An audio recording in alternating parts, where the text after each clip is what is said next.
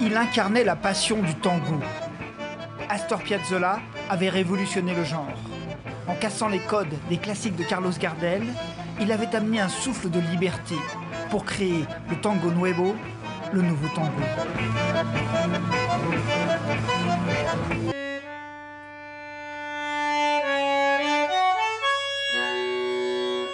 À 26 ans, Louise Jalut se veut un peu son héritière. Depuis l'âge de 5 ans, elle se consacre au bandoneon, un instrument inventé en Allemagne et popularisé en Argentine. Piazzolla disait qu'on a au niveau de la tessiture de l'instrument, on a comme un violon à la main droite et euh, un violoncelle à la main gauche, parce que ce sont deux timbres réellement différents en fait.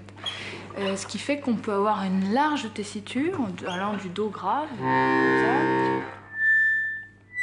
aussi très très aigu, et, ainsi euh, on a presque l'équivalent de la tessiture d'un clavecin.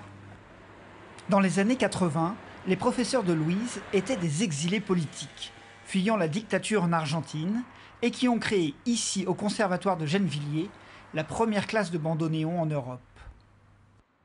On venait parfois même d'Argentine pour étudier au Conservatoire de Gennevilliers, et on, continue euh, cet héritage, euh, parce que j'enseigne à mon tour aujourd'hui au Conservatoire, donc on fait perdurer euh, ce savoir à Gennevilliers.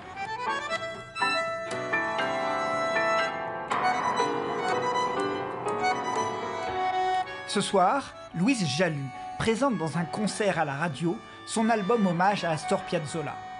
Un subtil équilibre entre déférence et irrévérence dans l'esprit du maestro, en toute liberté.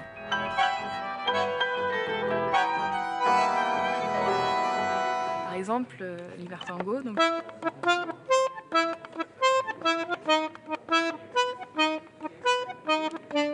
Et donc, euh, à cette, à cette musique-là, qui est connue dans le monde entier, euh, on a euh, souhaité en donner une autre version avec une croche en moins, ce qui fait.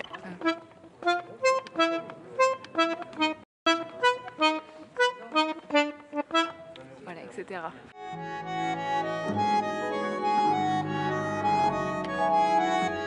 À ses côtés, le pianiste argentin Gustavo Beitelman.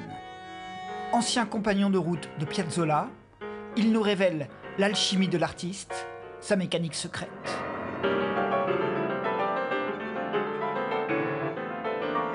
Il a du jazz, il a de la musique de son pays et il a de la musique euh, académique. La question, c'est dans quelle proportion et qu'est-ce qu'il a mis lui pour faire de tout ça la musique d'Astor Piazzolla?